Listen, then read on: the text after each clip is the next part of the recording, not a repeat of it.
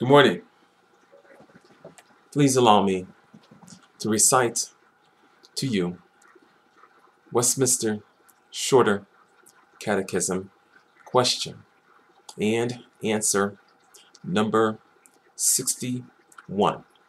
It asks, What is forbidden in the fourth commandment?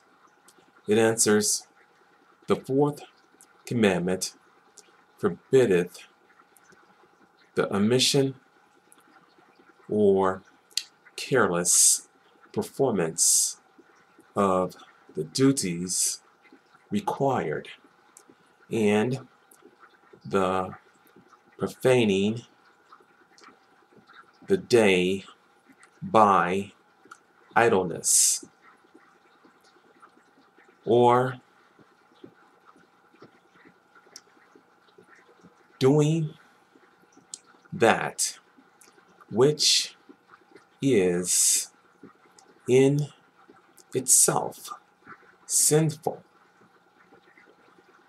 or by unnecessary thoughts, words, or works about our worldly employments or recreations.